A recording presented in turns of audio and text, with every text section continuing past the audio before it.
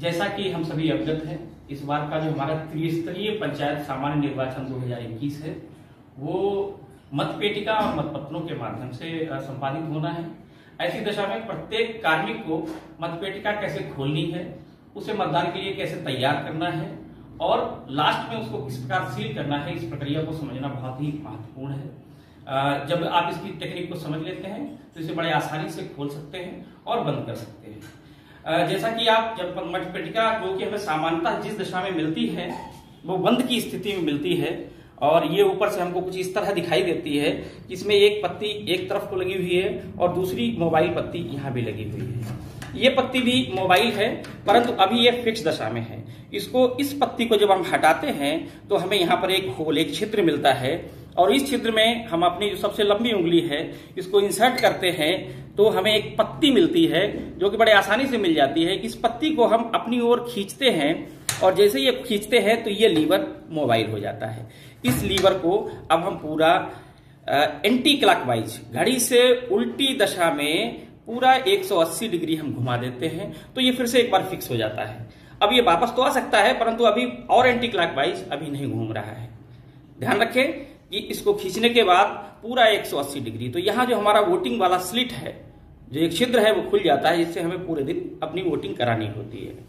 अब यहीं पर हम पुनः इसमें उंगली डालने के पश्चात इसी जो पत्ती है, उसको फिर खींचते हैं और एंटी क्लॉकवाइज घड़ी से उल्टी दिशा में लगभग 45 डिग्री जब हम इसको खींचते हैं तो हल्की कट की आवाज़ आती है और ये बॉक्स हमारा बड़ी आसानी से खुल जाता है।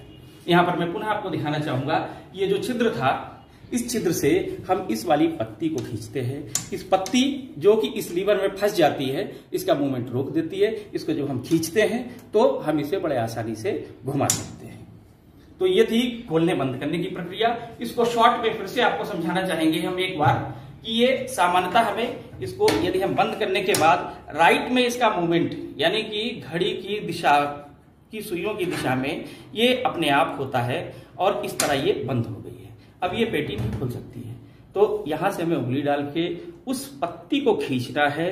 खींचने के बाद एंटी क्लॉकवाइज घड़ी से उल्टी दिशा में पहले हमें पूरा 180 डिग्री, फिर ये पुनः नहीं खुल सकती अभी। इसके बाद में हम फिर इसको एंटी क्लॉकवाइज घड़ी से उल्टी दिशा में 45 डिग्री फिर घुमा देते हैं। तो हल्की सी कट की आवाज़ आती है और ये बॉक्स हमारा खुल जाता है। अब हमें बॉक्स को मतदान के लिए तैयार करना है तो वहाँ पर जितने भी उम्मीदवार या मतदाता उपस्थित होते हैं, उनको हम अवलोकन करा देते हैं कि इसके अंदर कुछ भी नहीं है, इसमें कोई मत पहले से अंकित नहीं किया गया है। तो सबसे पहले जब हम इसे तैयार करते हैं तो एक पता लिखा हुआ टैग, जो कि ऊपर वाला टैग जो एक हैंडल में माना जाता है और एक अंदर। ये दोनों समान होने चाहिए, एक ही मध्य स्थल के होंगे, इसको हम इसके अंदर डाल देते हैं। इसके बाद में हम पेपर स्ट्रिप ये पेपर स्ट्रिप इसके ऊपर एक विशेष नंबर अंकित होता है।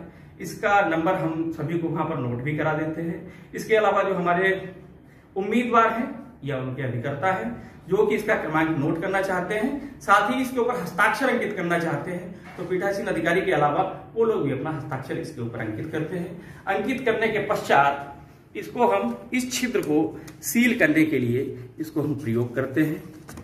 और इसमें हम नीचे हल्का सा हाथ का सहारा लेते हैं तो ये बड़ी आसानी से हम बीच के जो खांचे हैं, उनमें उसको फंसाने के बाद पुनः इस तरह से एक तरफ़ को और बड़ी आसानी से इसी तरह दूसरी ओर को इसे हम डाल देते हैं। और डालने के बाद ऊपर की तरफ़ से हम ये देख लेते हैं कि इसका जो क्रमांक था, वो हमें यहाँ से दिखना चाहिए।